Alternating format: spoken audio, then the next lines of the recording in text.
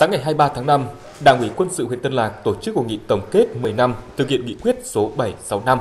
và nghị quyết số 623 của Quân ủy Trung ương. Đại tá Quách Đăng Phú, Phó Bí thư Thường trực Đảng ủy Quân sự tỉnh, Chính ủy, Bộ Chỉ huy Quân sự tỉnh Hòa Bình đã đến dự. Qua 10 năm thực hiện nghị quyết 765 của Quân ủy Trung ương, Đảng ủy, Ban Chỉ huy Quân sự huyện Tân Lạc đã lãnh đạo thực hiện thắng lợi nghị quyết đề ra. Cấp ủy, chỉ huy các cơ quan, đơn vị đã chủ động, tích cực chăm lo và có nhiều đổi mới sáng tạo trong lãnh đạo, chỉ đạo, quản lý tổ chức điều hành huấn luyện, phát huy tốt vai trò của các tổ chức, nhất là tổ chức đảng, tổ chức chỉ huy. Điển hình là lực lượng vũ trang huyện đã tham gia trên 20.000 ngày công, tu sửa trên 30 km đường giao thông, phát quang trên 35 km hành lang giao thông, làm mới trên 13 km đường bê tông, nạo vét trên 15 km kênh mương nội đồng.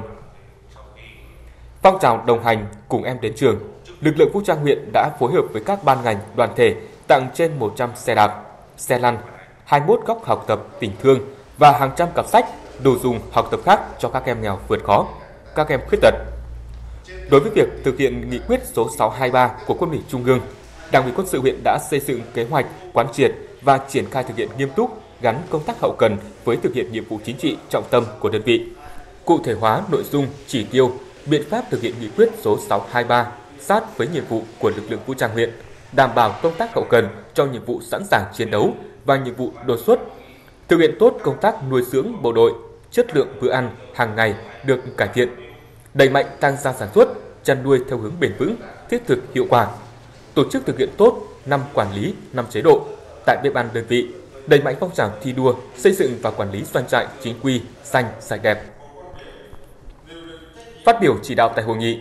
đồng chí đại tá Quách Đăng Phú, Phó Bí thư Thường trực Đảng ủy Quân sự, Chính ủy, Bộ Chỉ huy Quân sự tỉnh Hòa Bình đã ghi nhận đánh giá cao kết quả công tác huấn luyện trong lực lượng vũ trang huyện Tân Lạc đã đạt được. Đồng chí đề nghị Đảng ủy Quân sự huyện Tân Lạc tiếp tục triển khai thực hiện tốt nghị quyết số 765 và nghị quyết số 623 của Quân ủy Trung ương, tập trung lãnh đạo xây dựng đội ngũ cán bộ, nhân viên, chiến sĩ hậu cần có bản lĩnh chính trị vững vàng, sẵn sàng nhận và hoàn thành mọi nhiệm vụ được giao luôn bám sát tình hình thực tế của huyện để đổi mới nội dung, nâng cao chất lượng huấn luyện, phát huy tốt sức mạnh tổng hợp của cả hệ thống chính trị, nâng cao nhận thức, trình độ, khả năng sẵn sàng chiến đấu của lực lượng vũ trang, góp phần xây dựng Đảng trong sạch vững mạnh, xây dựng đơn vị vững mạnh toàn diện, mẫu mực, tiêu biểu.